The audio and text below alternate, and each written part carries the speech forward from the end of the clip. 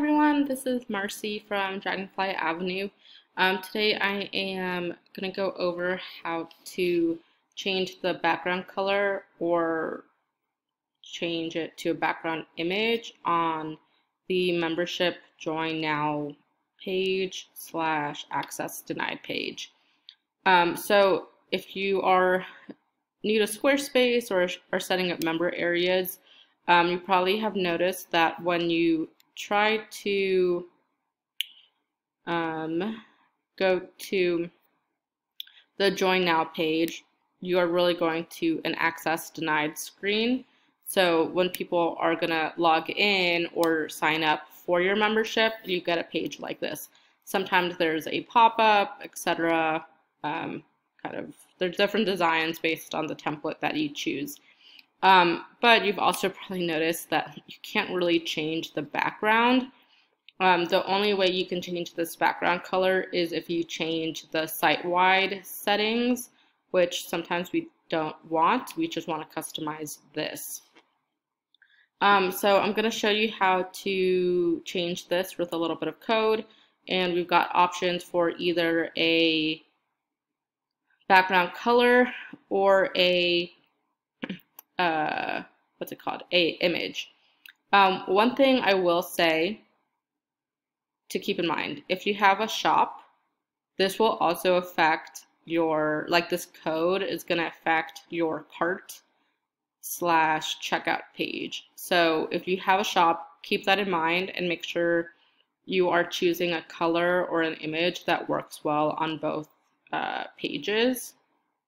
Um, but yeah, okay, so from here, we have the access denied screen. We are gonna, like all the text for this, you can customize and change here. Um, now you're gonna go to custom CSS. And on my, uh, if you're watching this on YouTube, the code is available on the corresponding blog post. But you are going to type this in. So it's gonna be dot system dash page, open bracket, background color. Um, this color right here can change to whatever hex code, or you can type in like white, etc. Um, whatever you want. So um, then you go to save. And we can see the change. Let's go back to access denied.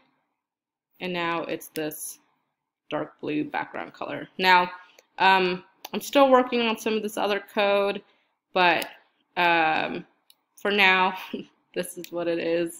Um, choose lighter colors uh, or darker colors depending on what it is you need. Now, if you want a background image, we're going to change this to image. Again, this code is all on the website.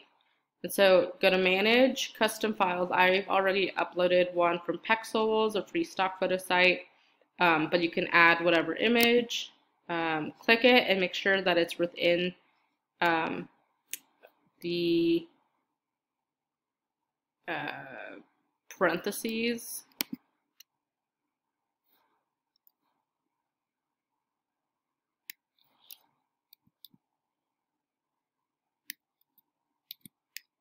Oh, what's going on? This worked.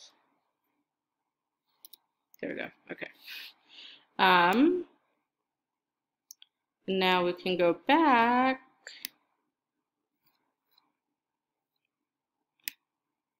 This is probably like the worst image to add to this. um, but you can see that the image in the background has changed.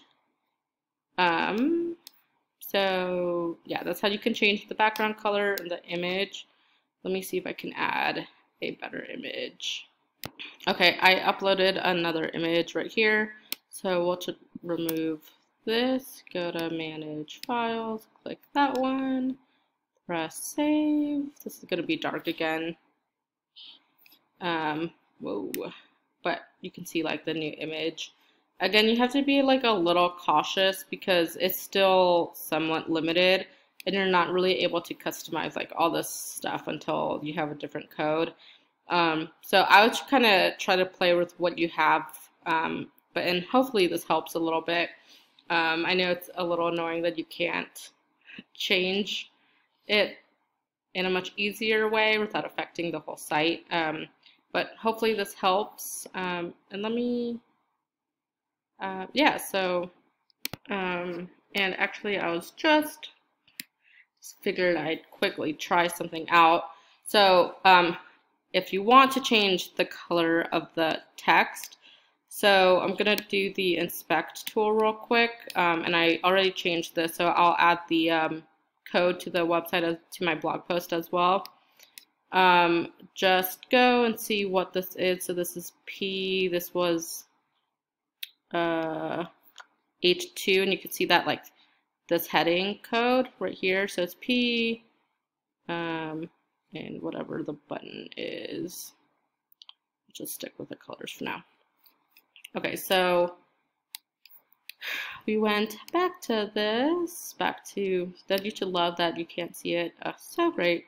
Anyway, so the code for the color, for the font color, um, and I will add this again to the, uh, to the uh, blog post, I'm sorry. So it's going to be dot system dash page. Uh, mine uh, was H2. Um, I would maybe use the inspect tool just to double check that. Um, and I believe it was P, and then uh, open bracket, color, white, or whatever hex code you want here. Uh, exclamation point, important, apostrophe, close bracket. Okay, so all this code will be on there. Let me see. I think I got the, I think it was P. Okay, yep. Um, so that's what it's going to be on here. Again, double check if you have a shop that like whatever you're doing isn't affecting it or if it is affecting it that it's still like everything on those cart pages and checkout pages still looks good and can still function well for your visitor. Um, if you just have a membership, then you are all set. Um, and I really hope this helps. Um, again, code is on the blog post. Uh, there should be a link below. Uh, follow for more, all of the fun stuff. So uh, again, thank you so much. I hope this helps. Thanks.